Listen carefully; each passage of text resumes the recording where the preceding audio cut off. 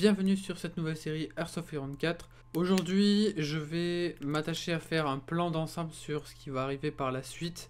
Parce que vous l'avez compris, c'est l'épisode 0 euh, de la série de tutoriels sur HOI 4. Je vais essayer dans cette série de tutoriels HOI 4 de m'adresser aux personnes qui ne connaissent pas le jeu en partie ou qui ont encore beaucoup à apprendre dessus.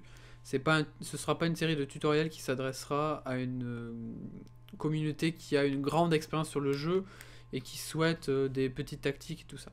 C'est vraiment une série de tutoriels pour euh, les personnes qui débutent dans le jeu ou qui ont besoin de confirmer certaines choses pour apprendre mieux et pour développer leurs compétences sur le jeu. Cette série euh, de tutoriels sur HOI4 va se découper en beaucoup d'épisodes, puisqu'il y a quand même beaucoup à dire. Donc le premier épisode qui n'est pas celui-ci sera sur l'interface du jeu, donc l'interface principale du jeu. Le deuxième épisode euh, sera quant à lui sur la diplomatie et la politique interne de votre pays. Le troisième traitera de la construction et du commerce. Donc là, j'y détaillerai euh, tout ce qui touche à la construction au niveau des bâtiments et leur utilité. Le quatrième épisode traitera lui de la production, donc la production du matériel euh, et la gestion de cette production-là. Le cinquième épisode traitera des arbres de focus et de leur utilité et des choses auxquelles il faut faire attention parce que il y a des choses que vous ne pouvez pas faire et qu'il ne vaut mieux pas faire. Le sixième tutoriel traitera des technologies, donc l'intérêt des technologies, l'intérêt d'avancer certaines technologies ou non.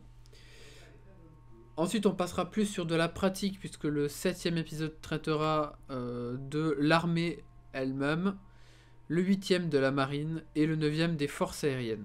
J'expliquerai dans ces trois épisodes si euh, le système de recrutement des armées, des marines et tout ça, les planificateurs, donc les utilités de chaque chose qui apparaissent en bas ou en haut selon euh, que vous gérez la marine ou euh, les forces aériennes.